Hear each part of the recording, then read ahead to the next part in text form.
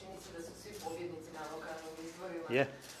Ovaj, Meni je drago da je SDP zadovoljan i posebno Zoran Milanović, da je zadovoljan rezultatima izbora. Ja vjerujem da će on biti zadovoljan i nakon poraza na parlamentarnim izborima. Pa zanima me, govorite da je to pobjeda HDZ-a, pak niste ostvarili vaše glavne ciljeve, niste osvojili Dubrovnika ni oni, gdje se zapravo isprovociralo ovaj, rušenje proračuna i nove izbore, tu je sve ostalo isto i zapravo ste samo potrošili pare. A, rekao sam, ako smo ostvarili pobjedu u tri grada i pet općina, znači gdje su se isprovocirali izbori, nismo dobili, kako vi kažete, omiš i šta još? Dubrovnik, I Dubrovnik, eto. dakle Znači da ipak se pokazalo da su ovi izbori bili potrebni i opravdani. A mi ne dijelimo gradove ni jedinice lokalne samouprave na velike i male. Evo, reću vam jedan primjer. Što znače ovi izbori? I kako se može isto mjeriti pobjeda na ovim izborima? Primjer Požeško, Požeške županije gdje je općina Čaglin jedina općina u kojoj HDZ nije imao vlast. Danas, znači možemo reći da HDZ ima vlast u svim gradovima i općinama Požeške županije, isto tako i Virovetičke. I to je jedno od mjerila. I imamo naravno očekivanja zbog parlamentarnih izbora, ovo su nam mjerila i pokazatelji da idemo u dobrom smjeru i da možemo očekivati širu podršku građana, pa i u Dubrovniku, Dubrovačkoj županiji gdje mi imamo odlične rezultate. Ovi rezultati gdje smo izgubili za 400 glasova sa kandidatom koji do sad nije bio profiliran politički, ali je, poka- ali je njegov rezultat pokazao da smo izabrali odličnog kandidata i da HDZ u Dubrovniku ima perspektivu. To je nama bitno. I naravno za parlamentarne izbore Dubrovnik sa ovim brojem glasova i sa podrškom koju imamo u cijeloj Dubrovačkoj županiji sigurno nam jamči da ćemo ostvariti iznimno dobar rez- rezultat. Ma je li realnije onda reći zapravo da nema pobjednika i da će utrka na parlamentarno biti jako tjesna između vas i Kukuriku koalicije? Zavisi kako se mjeri pobjednik. Ako vi kažete nema pobjednika. Pobjednika ima zato što u ovim izborima HDZ nije bio na vlasti u ovim mjestima gdje je ostvario ove rezultate. Dobro, ali niste dobili ni ove gradove zbog koje ste... Pa nismo imali ni vlast.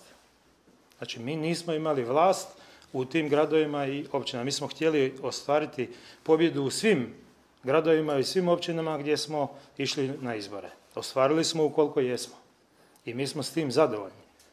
Dobro, evo, ako ćemo još nekim brojkama, recimo ukupna pobjeda koju je HDZ i koalicija ostvarili, vi ste na području gdje je 32,8% birača, dok je SDP i njihova koalicija na području gdje je 55% birača. Možete nešto o to prokomentirati?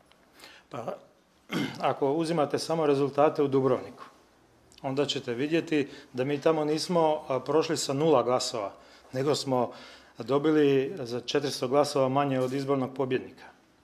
Ti glasovi se isto broje. I kada se zbrajaju glasovi za parlamentarne izbore, onda nam je jasno da tamo imamo odličnu podršku i da ćemo pobijediti u Dubrovačkoj županiji. Onda evo, to i na Korčulu mogla primijeniti, pa onda obrnuto isto za 20 glasova. Isto tako. Ima još pitanja? Ima. Šta, kad govorimo o parlamentarnim izborima, već imate pripremljenu strategiju, kako se pripremate za to i šta vi mislite, mislim, kad bi vam odgovaralo da bude datum izbora? Mi smo za izbore spremni. Mi se za izbore spremamo duže vrijeme. Pokazali smo to na svim dosadašnjim izborima. Pobjedili smo na svim izborima, i na lokalnim i na europskim, evo i na ovim izborima. I naravno da smo spremni za ove izbore. Mi se za izbore pripremamo duže vrijeme. Znamo da imamo podršku građana, imamo kvalitetan program s kojim ćemo izići u trenutku kada budemo znali datum parlamentarnih izbora i ne bojimo se za parlamentarne izbore, kad god budu, bit ćemo pobjednici.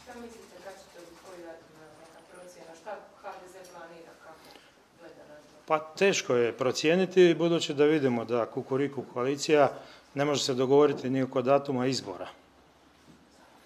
Jedni su za jedan, drugi za drugi, treći za treći. Nama je svejedno, kad god budu. Evo pitanje je što se tiče ministrice Zlatar Vjelić, e, utvrđene su brojne nepravilnosti u njenom ministarstvu. Kako vi to komentirate? A, hoćete li, zahtijevate li njenu ostavku na mjesto ministrice? Pa to je odgovornost e, kukuriku koalicije i Zorana Milanovića kao mandatara vlade. I logično je da oni povuku određene poteze. Iako moram reći da izražavam svoju sumnju, budući da su podržali u Dubrovniku kandidata koji je kažnjavan, a vamo s druge strane bi trebali razriješiti ministricu koja je napravila određene nedopuštene radnje.